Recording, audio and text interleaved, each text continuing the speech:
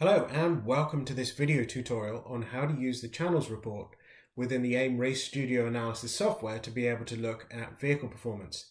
Now this is a continuation from the first video, which I'll actually link to on the top right hand side of this video, where we looked at setting up the channels report feature. What we're going to look at today is we're going to look at how do we use this information to be able to make decisions on how things are happening within the car, within the session, what the driver can do, and what we can learn from that particular data. And so today we're going to look at a max RPM uh, function. And so here you can see uh, that I have a profile set up, um, which is uh, called Formula Ford um, uh, Vehicle Health. And we've got variables in here which I like to pay attention to, um, max RPMs, external voltage, oil pressure, which is minimum, average, and maximum. Same thing with water temperature.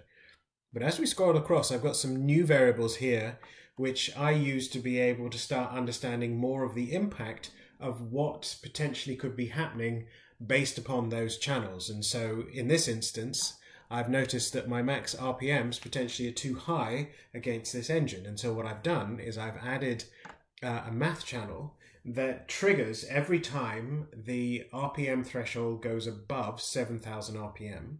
And then I've also created further channels that allow me to be able to see how far I've gone in terms of distance um, within the lap above 7,000 RPM. And then the next thing is in time, which is how uh, long I've been above that threshold as well. Useful to be able to get an understanding of a few variables.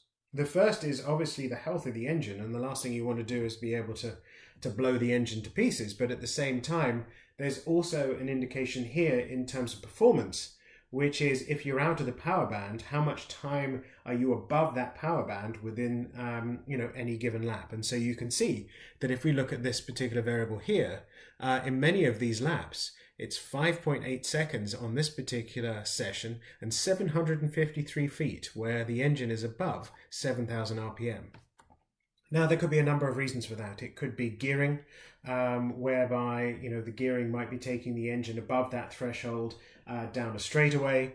Um, it could be all sorts of uh, variables. It could be, um, in the most part, could be driver. The driver is just you know trying to get too much out of the engine and over revving um, in a space where this type of car doesn't actually have a rev limiter. So we want to be able to have a look at that. So what I'm going to do is I'm going to hit the spacebar uh, here and I am going to click on uh, a profile I've created called Max RPM Analysis and I'm just going to open that up. And what this is going to do is it's going to show me um, where I am actually triggering that threshold uh, limit of 7000 RPM on track. Uh, to make it a little bit easier, I'm going to close down one of these sessions, and so I'm going to shut down this green one here. I'm going to hit the spacebar, uh, and so this is now just going to look at RPM analysis. Um, here you can see um, the RPMs, the max RPM, and, and within each of the sessions that you can see here. And so um, what I can do is I can now use that math channel that I'd created to be able to create this, it's a zero and one, whereabouts on track is that happening, and then look at you know what else is going on um, within the input from the driver. And so um, what we can do here is we can see that if I click here, we can see that uh, this is consistently triggering that 7000 RPM threshold at this particular point on track here. And, you know, if I were to zoom in, I can see where that is and it's relatively consistent in terms of a gear shift. Same thing um, is happening here. Uh, and then the same thing is happening here elsewhere on track. If I zoom out, I can see where that is coming out of each of these corners. And so it's really a corner exit um, where this is being triggered. And so not a gearing issue necessarily.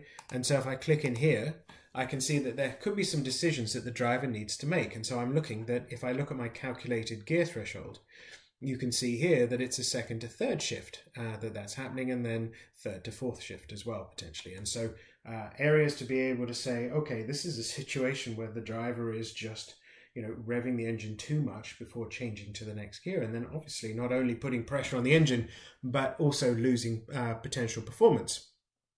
And so what we want to be able to do here is make some decisions uh, and those decisions need to be do I, uh, as a driver, now potentially uh, carry, in this instance, third gear all the way through this corner? Do I short shift to be able to avoid, um, you know, running out of revs while I'm still turning and may have, uh, uh, you know, some significant busyness in the car in terms of turning and changing gear at the same time?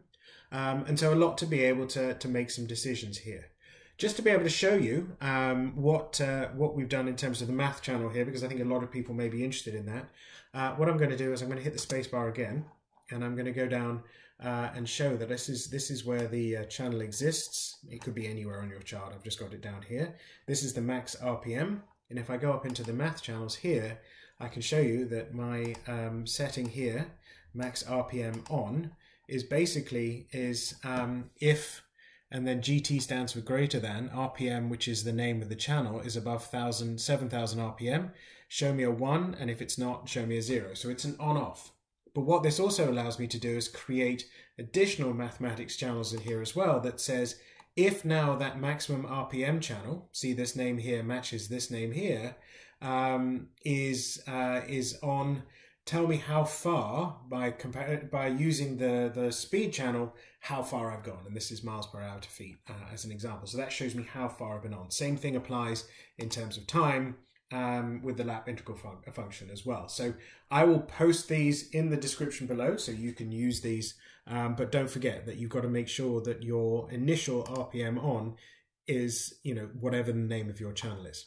So there you go. So that's the math channel itself and so, you know, time is just how long this switch is on for, and it just allows us to be able to make some decisions. Now, what I would do, and actually would do in this situation um, now, is I'd go into my Race Studio 3 analysis.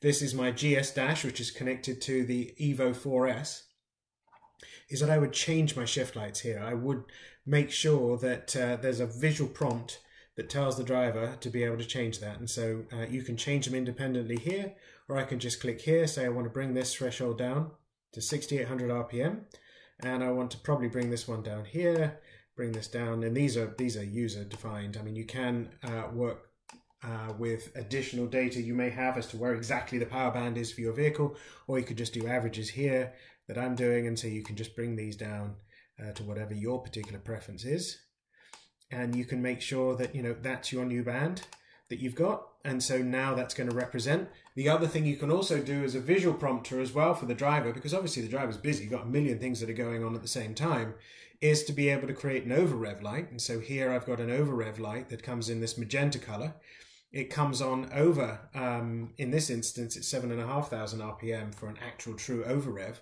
but we could adjust this. That doesn't go away and a little message comes up says over rev until the data is downloaded. That means it's going to be on the screen until you download the data, and this won't go away until the data is downloaded as well, which means there's always going to be a visual prompt to be able to say, avoid those revs and make sure you're paying attention to this because obviously um, chasing down someone on track, chasing lap times, may also create the distraction to not necessarily pay as much attention here. And so this is a great way of being able to use the channels report feature and then tie it together with decisions you're going to make as to configuration changes that you may want to be able to do. If you like this video, please give it a thumbs up. Um, if you want more information, please comment in the comments box below, or if there's anything that you don't like, please also comment. Um, and uh, thanks so much for watching. Please subscribe um, because there will be more videos on the way with this kind of information.